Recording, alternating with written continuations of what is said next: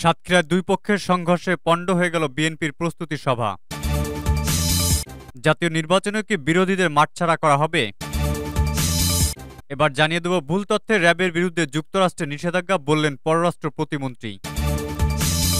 কাদের বলছে দম ফুরিয়ে আসছে তাই বিএনপি এখন নীরব পদযাত্রা শুরু করেছে। আরও জানিয়ে দেব কালকিনিতে একই পরিবারের চারজনের ইসলাম গ্রহণ। সর্বশেষ জানিয়ে দেব, সেনাবহরে যুক্ত হলো তুরস্কের তৈরি টাইগার মিসাইল। এতক্ষণ শুনছিলেন সংবাদ শিরোনাম, এবারে বিস্তারিত। তবে তার আগে আজকের সংবাদ সম্পর্কে আপনার মূল্যবান মতামত জানিয়ে দেওয়ার বিশেষ অনুরোধ রইল। সাতক্ষীরায় দুই পক্ষের সংঘর্ষে পণ্ড হয়ে গেল বিএনপির প্রস্তুতি সভা।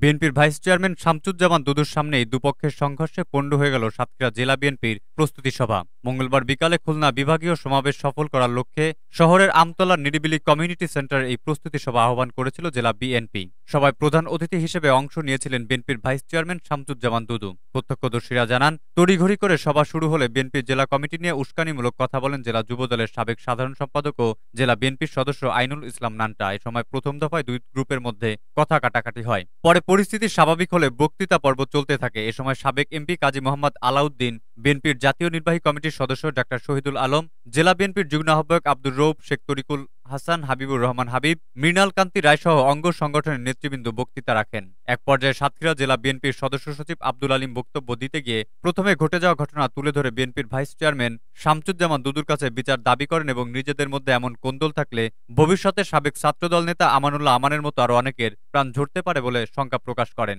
তার এই বক্তব্য ঘিরে আমানুল্লাহ আমান হত্যা মামলার আসামিরা সভাকেন্দ্রে হট্টগোল শুরু করে এক পর্যায়ে দুই গ্রুপের নেতাকর্মীরা চর কিল ঘুষি, লাথিয়ার, চেয়ার ছোড়াছুড়িতে লিপ্ত হলে সভা পণ্ড হয়ে যায়। পরে পুলিশ গিয়ে পরিস্থিতি নিয়ন্ত্রণে নেয়। এদিকে প্রস্তুতি সভা পণ্ড হয়ে যায় দুঃখ প্রকাশ করে শামসুজ্জামান দুদু বলেন, আমাদের নিজেদের মধ্যে সংঘর্ষ হলে তা দলের জন্য অশনি সংকেত। এতে আমাদের দলের ভাবমূর্তি ক্ষুণ্ণ হয়েছে। সরকার পক্ষ এটা নিয়ে হাসি তামাশা করবে। জেলা বিএনপির আহ্বায়ক অ্যাডভোকেট সৈয়দ ইফতেখার আলী জানান, অনুষ্ঠানের শুরুতে প্রধান অতিথি আসার পর শান্তিপূর্ণভাবে সভা চলছিল।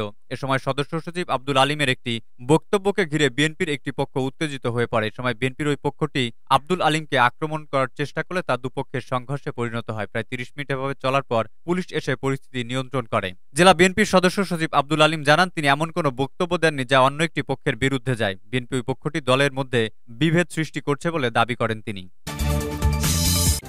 জাতীয় নির্বাচনেও কি বিরোধীদের মাঠছাড়া করা হবে? সংসদের মেয়াদের শেষ বছরে এসেও ছয়টি আসনের উপনির্বাচনে ক্ষমতাসীন আওয়ামী লীগের তৎপরতা, নানা আলোচনার জন্ম দিয়েছে।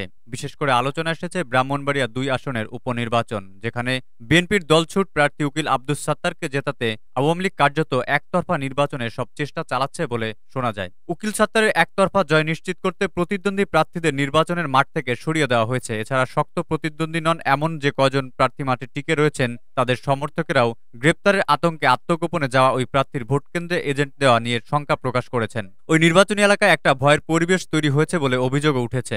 যদিও প্রধান বিরোধী দল বিএনপির সংসদ সদস্যদের পদত্যাগের কারণে শূন্য হওয়া ছয়টি আসনে এখন উপনির্বাচন হচ্ছে, কিন্তু বিএনপি এই উপনির্বাচনে অংশ নেয়নি, ফলে রাজনৈতিক দিক থেকে শক্ত প্রতিদ্বন্দ্বী নেই। এরপরও আসনগুলোতে ক্ষমতাসীন দল সমর্থিত এবং দলের নিজেদের প্রার্থীদের বিরুদ্ধে ভোটে নেমেছেন যারা তাদের কর্মী সমর্থকদের অনেকে পুরনো মামলায় গ্রেপ্তার করা হয়েছে এবং অনেককে গ্রেপ্তার আতঙ্কে মাঠ ছাড়া হয়েছেন। আওয়ামী লীগের প্রধান রাজনৈতিক প্রতিদ্বন্দ্বী যে নির্বাচনে নেই, সেই উপনির্বাচনেও যখন ভোটে অংশ নেওয়ার প্রতিদ্বন্দ্বীদের ভয়ভীতি দেখিয়ে মাঠছাড়া করা হচ্ছে, তখন ক্ষমতাসীন দলের এই কৌশল নানা আলোচনার জন্ম দিয়েছে।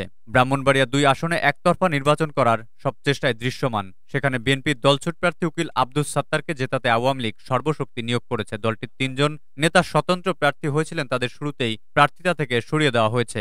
জাতীয় পার্টির দুবারের সংসদ সদস্য জিয়াউল হক স্বতন্ত্র প্রার্থী হয়েছিলেন, তাকেও সরকারের বিভিন্ন দিক থেকে চাপ দিয়ে সরিয়ে দেওয়া হয়েছে বলে অভিযোগ রয়েছে। পররাষ্ট্র প্রতিমন্ত্রী বলছেন, ভুল তথ্যে র্যাবের বিরুদ্ধে যুক্তরাষ্ট্রের নিষেধাজ্ঞা। দুই হাজার একুশ সালের দশ ডিসেম্বর ভুল তথ্যের ভিত্তিতে প্ররোচনায় পড়ে র্যাবের বিরুদ্ধে যুক্তরাষ্ট্র নিষেধাজ্ঞা দিয়েছিল বলে সংসদে দাবি করেছেন পররাষ্ট্র প্রতিমন্ত্রী শাহরিয়ার আলম। তিনি বলেন, দশ ডিসেম্বর তারিখটা বিএনপি সুনির্দিষ্টভাবে বেছে নিয়েছিল কারণ দুই হাজার একুশ সালের দশ ডিসেম্বর ভ্রান্ত তথ্য ভুল তথ্যের ভিত্তিতে প্ররোচনায় পড়ে বাংলাদেশের অন্যতম সফল আইন শৃঙ্খলা বাহিনী র্যাবের ওপর নিষেধাজ্ঞা দিয়েছিল যুক্তরাষ্ট্র।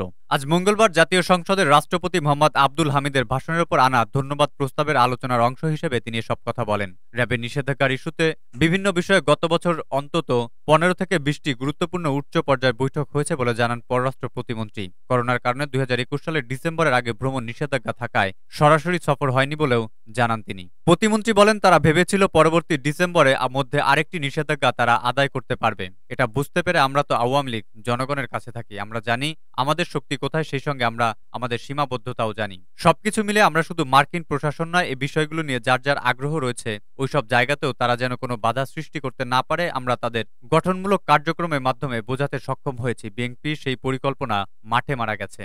একটি চিঠি দেখিয়ে শাহরিয়ার আলম বলেন, আমি আজকে একটি চিঠির কপি নিয়ে এসেছি।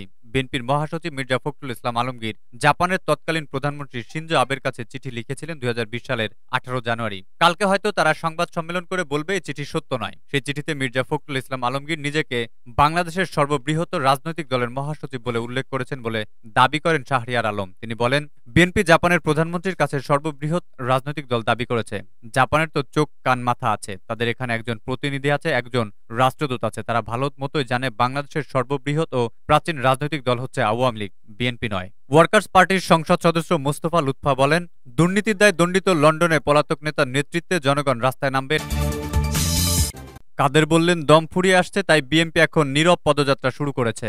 আওয়ামী লীগের সাধারণ সম্পাদক ও সড়ক পরিবহন ও সেতুমন্ত্রী ওবায়দুল কাদের বলেছেন, লন্ডনে বসে থেকে হুঙ্কার ছাড়েন, কেন দেশে আসেন না? সৎ সাহস থাকলে দেশে ফিরে এসে রাজনীতি করুন, আপনি তো কাপুরুষ। তিনি বলেন, বিএনপির আন্দোলনের কি খবর? দশ তারিখের লাল কার্ড, বিএনপির চুয়ান্ন দল, অবশেষে ভুয়া।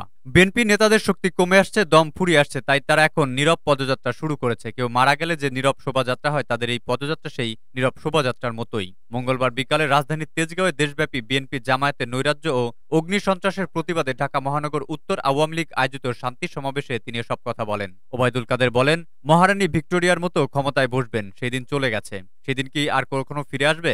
স্বপ্ন দেখা ভালো কিন্তু দিনের বেলায় নয়। দিনের বেলা যে স্বপ্ন দেখে তাকে কি বলে? দিবা স্বপ্ন ওই দিবা স্বপ্ন দেখে কোনো লাভ নেই।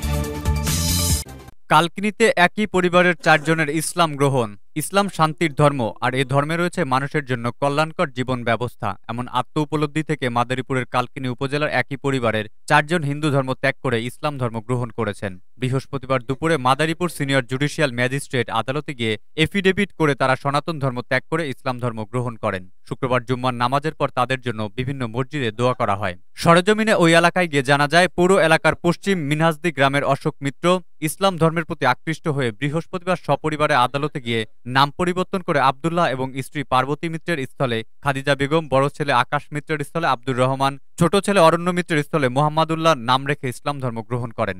আব্দুর রহমান ও মোহাম্মদুল্লাহ দিনমজুরের কাজ করে পরিবারের ভরণ পোষণ করেন। আবদুল্লাহ ইসলাম ধর্ম গ্রহণ শেষে জানান, শৈশব থেকে আমি ইসলাম ধর্মের প্রতি দুর্বল ছিলাম। বিয়ের পর সংসার জীবন এক পর্যায়ে স্ত্রীর কাছে বিষয়টি প্রকাশ করলে সে আমাকে অনুপ্রাণিত করে। দীর্ঘ সময় মুসলমানদের রীতিনীতি পর্যালোচনা করে আল্লাহ এবং প্রিয় নবী হজরত মোহাম্মদ সাল্লাহ আলাইসলামের প্রতি বিশ্বাস রেখে সপরিবারে হিন্দু ধর্ম ত্যাগ করে ইসলাম ধর্ম গ্রহণ করে সেনাবহরে যুক্ত হল তুরস্কের তৈরি টাইগার মিসাইল।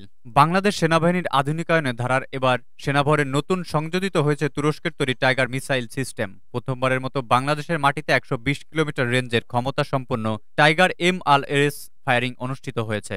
মঙ্গলবার বেলা সাড়ে এগারোটায় শিলখালী টেকনা ফিল্ড ফায়ারিং রেঞ্জের সেনাবাহিনীর প্রধান জেনারেল এস এম শফিউদ্দিন আহমেদের উপস্থিতিতে এ ফায়ারিং অনুষ্ঠিত হয়। এদিন বেলা এগারোটার কিছু পর বিকট শব্দে টিউব থেকে ছুটে যায় মিসাইল, যা চার মিনিটের মধ্যে একশো বিশ কিলোমিটার রেঞ্জে গিয়ে আঘাত হানতে সক্ষম। এর ঠিক দশ মিনিট পর টিউব থেকে ছোড়া হয় দ্বিতীয় মিসাইল। এভাবে সেনাবহরে যুক্ত হয় নতুন টাইগার মিসাইল সিস্টেমের সফল ফায়ারিং অনুষ্ঠান। সফল মিসাইল ফায়ারিং শেষে সেনাপ্রধান general S M Shafiuddin Ahmed বলেন, জাতির পিতার অসমাপ্ত স্বপ্ন বাস্তবায়নের প্রধানমন্ত্রী শেখ হাসিনার দিক নির্দেশনা প্রণীত ফোর্সেস গোল দুই হাজার আলোকে বাংলাদেশ সেনাবাহিনীর সম্প্রসারণ ও আধুনিকায়ন একটি যুগোপযোগী পদক্ষেপ। এরই ধারাবাহিকতায় প্রথমবারের মতো বাংলাদেশের মাটিতে একশো বিশ কিলোমিটার রেঞ্জের ক্ষমতা সম্পন্ন tiger M R S fire